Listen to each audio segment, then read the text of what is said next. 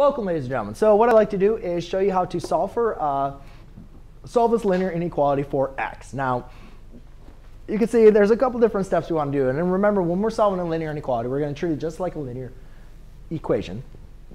So we're going to use our inverse operations as well as our properties of equality, um, but now they're going to, you know, for a inequality.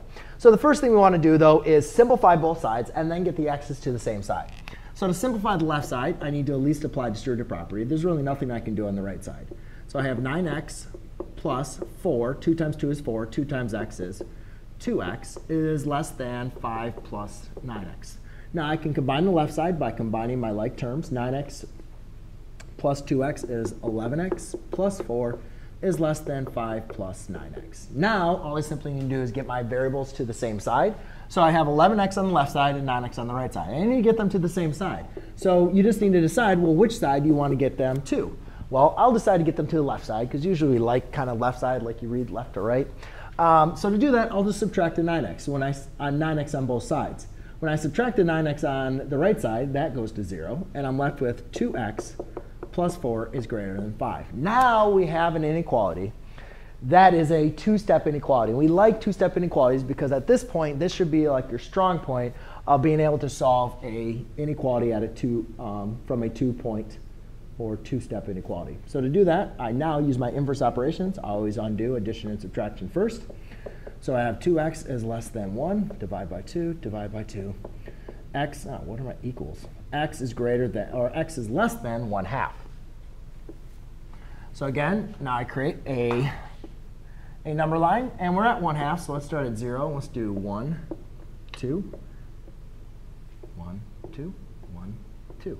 So again, when I'm graphing these, you can see x is less than. It's not less than or equal to. So just since it's less than, I could probably assume that, hey, it's going to be an open dot. But why do we have an open dot?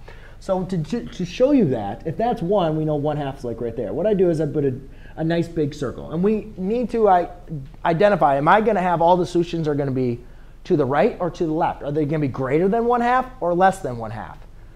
X is less than 1 half. I could probably reason it's going to go to the left. But let's double check. Let's check some values. So what you're going to do is take each one of the values that you're plotting and test them. So this is at 1 half, right? That is your solution. So plug 1 half in for x.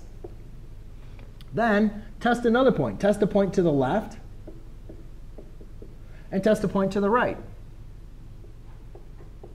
Okay, is 1 half less than 1 half? No, 1 half is equal to 1 half, right? So that is false. So since it's false, it's still your solution, but since it's false, it's just not going to be a part of your solution as far as in the graph. So therefore, it's going to be an open circle, meaning that value is actually not a part of your solution. Is negative 1 less than 1 half? Yes, negative values are less than positive, so that is true. Is 1 less than 1 half? No, that's false. So therefore now, from our open circle, which our solution, we're now going to shade to the left, which is going to represent all of the solutions that will make my inequality true. Thanks.